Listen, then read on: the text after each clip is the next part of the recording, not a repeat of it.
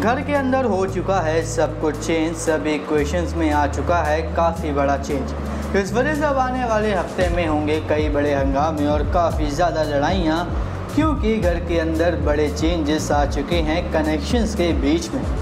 नया मिलन का कनेक्शन टूट चुका है तो वहीं घर का सबसे मज़बूत कनेक्शन माने जाने वाले प्रतीक अक्षरा का कनेक्शन भी टूट चुका है. पर सबसे बड़ा चेंज ये आया है कि नेहा और प्रतीक का अब घर के अंदर कनेक्शन बन चुका है तो वही मिलिंद और अक्षरा एक दूसरे के साथ कनेक्शन बना चुके हैं। जिस वजह से अब सभी के मन में ये सवाल उठने लगा है कि आखिर प्रतीक ने अक्षरा को क्यों छोड़ा और नेहा को क्यों चुना? तो चलिए हम आपको बताते हैं सवाल का जवाब क्या है।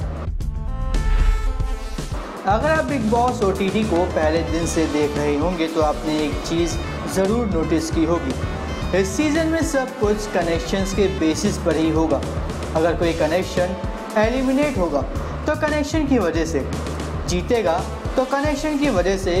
और हर टास्क में जो भी रिज़ल्ट आएगा, हार जीत का, वो भी कनेक्शंस के बेसिस पर ही होगा।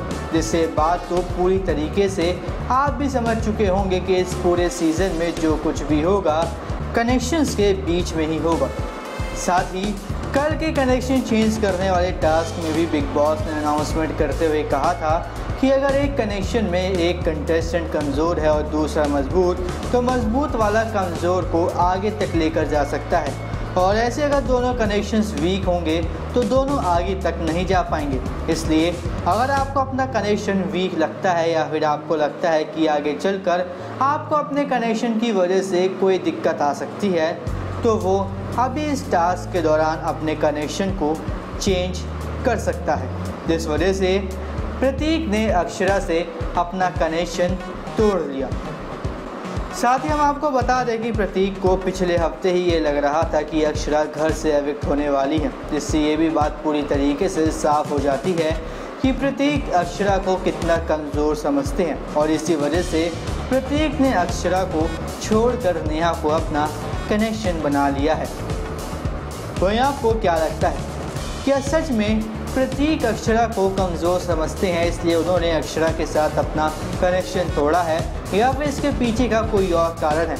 हमें कमेंट करके ज़रूर बताएँ।